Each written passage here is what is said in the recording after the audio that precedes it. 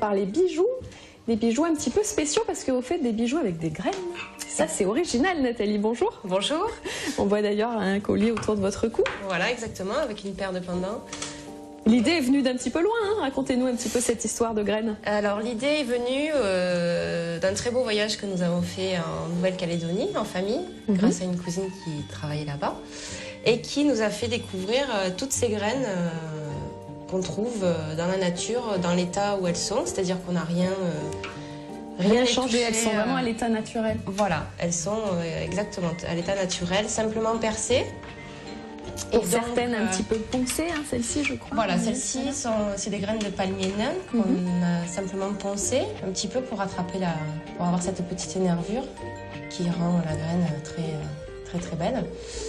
Et donc euh, nous avons ramené dans nos valises euh, pas mal de graines qui au départ euh, ont servi à faire des colliers pour euh, nous, les amis, la famille. Ils m'ont dit oh c'est c'est très sympa ce que tu fais. euh, tu devrais peut-être essayer d'en faire un petit peu plus, euh, ça devrait plaire. Et Mhm. c'est ce qui se passe effectivement. ouais. J'ai commencé par, euh, par un petit marché sur- au mois d'octobre ici à Manduel, où euh, effectivement je me suis rendu compte que euh, ça plaisait beaucoup.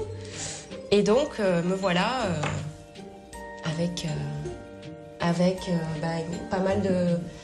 Des idées plein la faits, tête. Des voilà. idées plein la tête. Alors pour la petite histoire, on voit qu'il y a des petits trous partout percés hein, dans ces graines. Voilà. Alors racontez-nous un peu parce qu'il y a un monsieur, le pauvre, je le plains. Exactement. Ces petits trous, c'est pas moi qui les ai faits. je crois que je n'aurais pas eu la patience. C'est effectivement mon mari qui s'est pris au jeu aussi euh, à faire tous les petits trous qui sont évidemment nécessaires à faire euh, les colliers, les pendants, les euh, bracelets. Et voilà. On imagine qu'il a dû passer un temps fou parce qu'on voit la taille de certaines graines. Alors celles-ci, elles sont minuscules. Voilà. elles Il sont s'appelle toutes comment votre mari Frédéric. On va faire un, je sais pas, un comité de soutien peut-être. Voilà, oui. Effectivement, je le remercie beaucoup d'avoir fait tout ça parce que je crois que sinon, euh, effectivement, je ne serais pas là aujourd'hui avec vous. Alors vous faites quoi là Alors ici, c'est une paire de pendants. Mhm. Donc je glisse sur, euh, sur une tige les graines.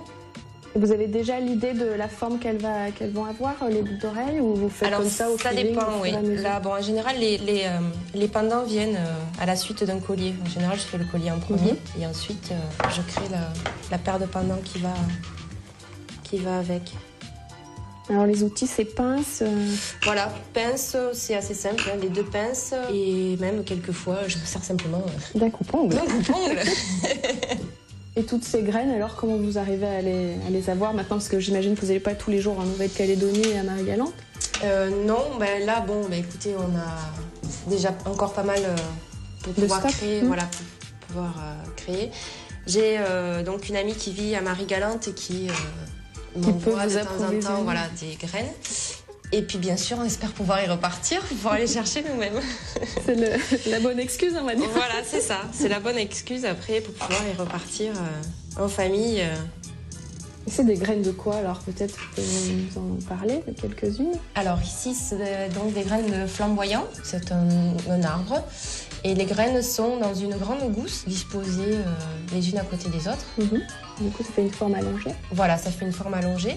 Ensuite, euh, celle-ci, c'est euh, des caniques. Euh, alors ça se trouve plutôt en bord de plage et ça se trouve aussi dans une gousse mais plus petite. Mhm. Alors ici, par contre, c'est des graines de chez nous. C'est de la glycine. D'accord, ah oui, donc Voilà. c'est plus pratique à trouver. D'ailleurs, voilà, c'est déjà plus simple à trouver. Et les toutes petites là? Et donc celles-ci sont de chez nous aussi. C'est les graines de cana. Voilà, que l'on trouve euh, d'ailleurs. Bon, il doit y en avoir encore un peu sur les plantes en ce moment. D'accord, donc faut avoir l'œil quoi. Voilà, l'œil. celles-ci aussi sont de chez nous. Comme quoi, maintenant on regarde partout. Oui, oui. Des graines de ricin. C'est joli en tout, là. en tout cas, toutes ces couleurs naturelles là. Voilà, c'est ce qui me plaît en fait, c'est de justement de pouvoir, euh, de pouvoir assembler un collier avec des graines qu'on a simplement trouées et qui sont à leur état naturel et qui restent comme ça, qui bougent pas. Et après, avec de la ficelle aussi qui reste un matériau un petit peu. Voilà, de la ficelle. Bon après c'est vrai que pour les pendants on est obligé après de prendre euh, des matériaux un peu plus euh, rigide. oui. rigides. Et euh, voilà, d'accord, de différentes tailles. Euh, sur du câble aussi, ou de la corde en coton aussi.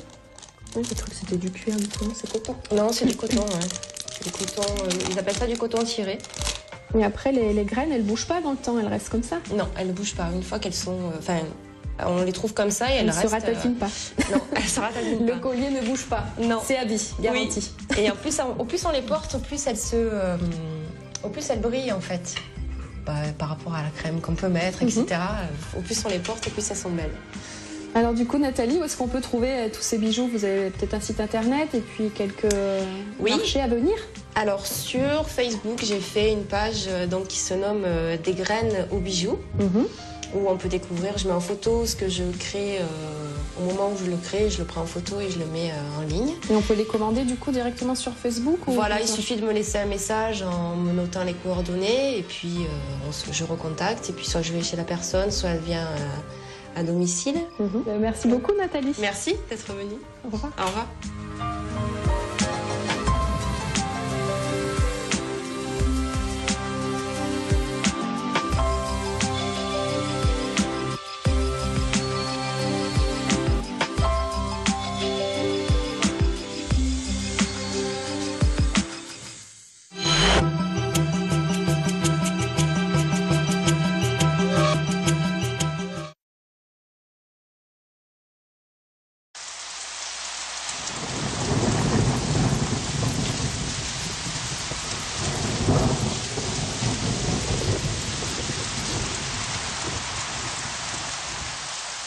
Bonjour, je m'appelle Claude Catret et je suis sculpteur.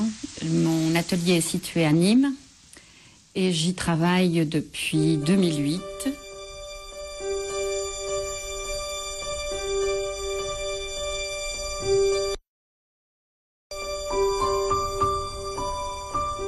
Je ne sais pas si j'ai réellement le don de la sculpture, mais l'envie m'en est venue en 2005 quand j'ai voulu faire le portrait des mains de mon père.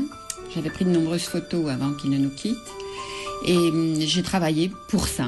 J'ai pris quelques cours et une fois que j'ai su faire les mains, j'ai voulu faire les corps. Et quand j'ai su faire les corps, j'ai voulu faire les visages.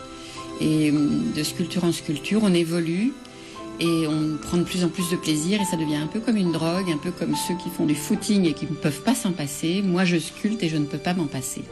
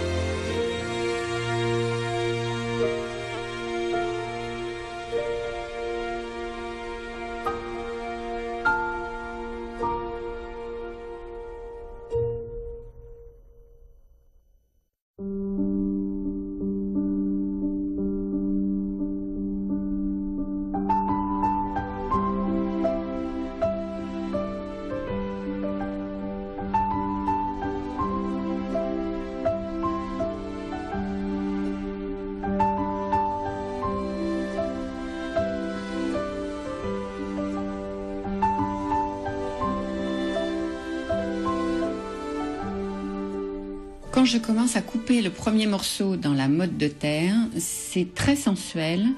C'est d'abord froid, humide, mais euh, c'est tellement souple que lorsque je commence à donner une, forme, ça vient immédiatement.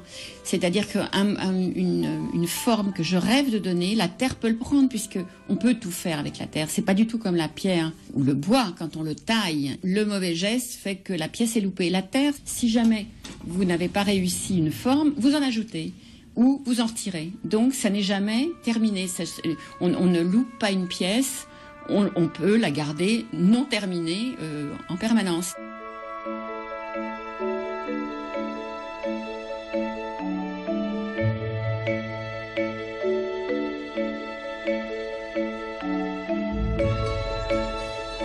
Quand je commence une pièce, elle est déjà mûre dans ma tête. C'est-à-dire que je vais avoir eu cette photo sous les yeux sur ma table de travail pendant 15 euh, jours, 3 semaines, parfois un mois, deux mois. Et puis tout à coup, c'est prêt. C'est-à-dire que dans ma tête, c'est prêt.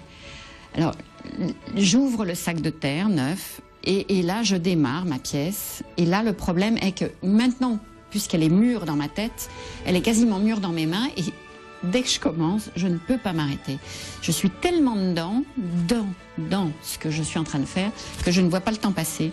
Si je démarre le matin, le, le midi, euh, je n'ai pas faim. Euh, je peux éventuellement avoir un, un, petit coup de pompe, euh, un petit creux du côté de 15h, 16h, boire une tasse de thé et malheureusement, il faut que je m'arrête du côté de 19h. Donc maintenant, je mets mon téléphone à sonner pour me rappeler l'heure où judicieusement je vais pouvoir aller faire quelques courses pour mon dîner, mais effectivement, si je me laissais aller, si je m'écoutais, je travaillerais jusqu'à fort tard dans la nuit. C'est très très physique. Quand on monte une pièce, c'est très physique et, et, les épaules travaillent, le, le, trapèze charge un peu, donc j'ai mal partout, mais je ne m'arrête pas, je n'arrive pas à m'arrêter.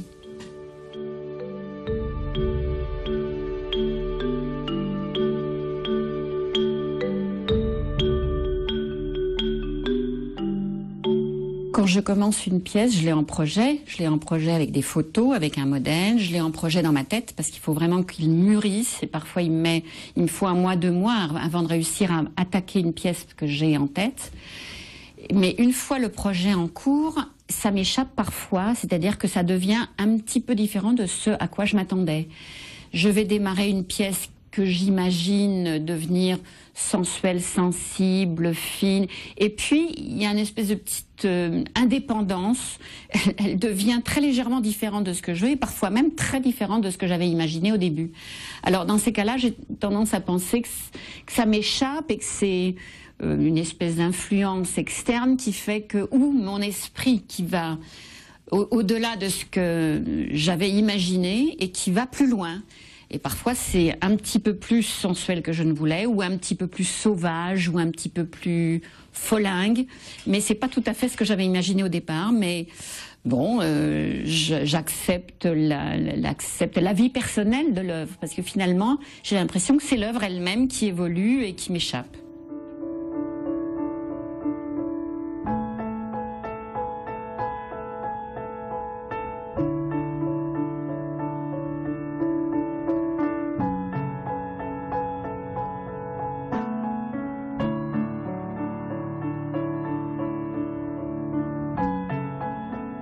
Je recherche des formes, des postures qui soient féminines, sensibles, sensuelles, pas vulgaires, pas érotiques. Je cherche une, féminité totale. Mais évidemment, quand je, fais un sujet masculin, c'est pas du tout la même chose que je recherche. Cependant, je, je pense qu'effectivement, le, fait d'être une femme donne une sensibilité que n'aurait pas forcément un homme dans, pour le même genre de travail. Toutes mes sculptures on montre montre ou un mouvement qui vient d'être fait ou un mouvement qui va être fait. Et toutes les femmes que l'on voit ne sont pas dans une posture académique, ce qu'on appelle académique, c'est-à-dire figée, jolie, mais figée. Moi, j'ai voulu exactement tout l'inverse, c'est-à-dire que c'est la vie, c'est tout simplement la vie. C'est ça que je voulais montrer.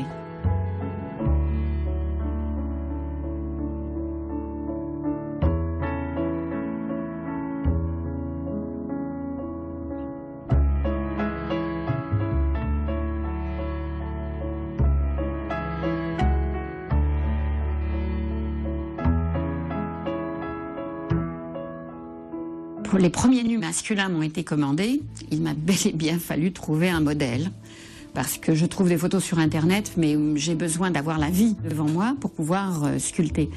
Donc j'ai eu beaucoup beaucoup de mal à décider le premier modèle qui a accepté de poser. Quand on pose dans une académie, les regards qui se posent sur le corps du modèle ne sont pas du tout des regards sexuels, ce sont des regards d'artistes, ce sont des regards quasiment vides, c'est-à-dire qu'on ne regarde pas sexuellement. Il faut beaucoup de générosité pour poser, parce qu'il faut vouloir transmettre à l'artiste quelque chose de soi.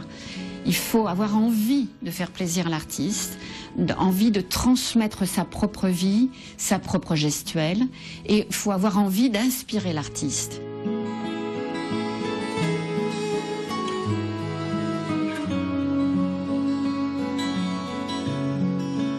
Artiste, tout le monde l'est. Tout le monde l'est sans le savoir. Dans notre enfance, on a tous touché à la pâte à modeler, on a tous fait plein de dessins. Et puis après, les études prennent les uns les autres, la vie prend les uns les autres. Et il faudrait que chacun, à un moment de sa vie, fasse un petit stop et des tentatives, que ce soit en dessin, en, peinture, ou en sculpture. On a tous en soi ces capacités, mais elles sont cachées, on ne les sait pas. On peut, c'est simplement qu'on s'est mis des limites, on n'a pas essayé. On a tous dans les doigts des, facultés. Il suffit pour cela de, pour tester notre, ce sens, le sens du toucher, de prendre n'importe quel objet usuel de notre vie, un portefeuille, un, objet qui, fait partie vraiment de notre vie, que vous avez chez vous, que vous voyez tous les jours et que vous ne voyez plus. Fermez les yeux, prenez-le dans vos mains et, et testez votre toucher. Et vous reconnaîtrez que vous pouvez utiliser vos doigts autrement que vous le faites jusqu'à présent. Alors testez, testez vos capacités, tout le monde les a. Je suis artiste parce que je ne fais que ça, mais finalement tout le monde l'est. Essayez un jour de sculpter, essayez un jour de peindre, et vous aurez, alors vous découvrirez alors des sensations extraordinaires, parce que créer, c'est, c'est un monde merveilleux, c'est, c'est ouvrir la porte à l'imaginaire, c'est ouvrir la porte à, à une sensualité que vous, vous avez dans vos mains et que vous n'avez jamais découverte. Mais vraiment, faites-le, c'est un bonheur total.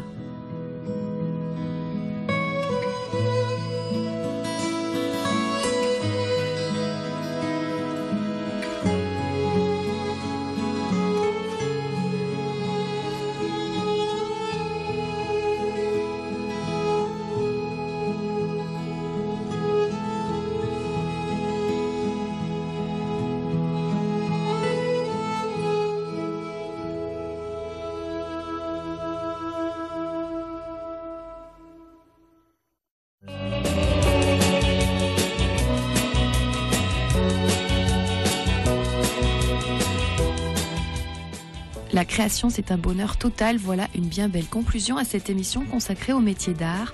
Un grand merci à tous les artistes passionnés qui nous ont ouvert les portes de leur atelier. C'est la fin de ce territoire. La semaine prochaine, nous vous donnons rendez-vous au Sainte-Marie de la Mer au parc du Pont de Gau à la rencontre des Flamants Roses, une envolée vertigineuse que nous vous proposons. Voilà, c'est la fin de ce territoire comme je vous le disais à l'instant. Je remercie Frédéric Siller qui a signé les images. Bonne semaine à tous, à très bientôt. Allez les joggers là, on y va Ciao